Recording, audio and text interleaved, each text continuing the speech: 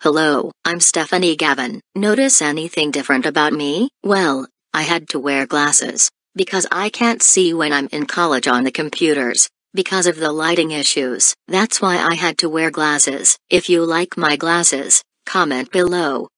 Hi Stephanie. Hi mom, what do you think of my new glasses? They look good on you Stephanie. Yeah. You look nice with glasses, Stephanie. Thank you so much mom and dad. You're, You're welcome. welcome. Hey mom, your cardigan and shirt looks nice. Thanks Natalie. By the way, Stephanie, you look really beautiful in your glasses. Aw, bless you Natalie. Yeah, Stephanie, your glasses look really nice. Thanks, big brother Eric. Hey Stephanie, your glasses look really cute. Thank you so much Lucy, my bestie. Yeah, Stephanie, I love you even more now you've got glasses.